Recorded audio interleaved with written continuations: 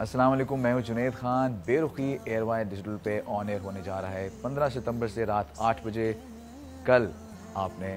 देखना नहीं भूलना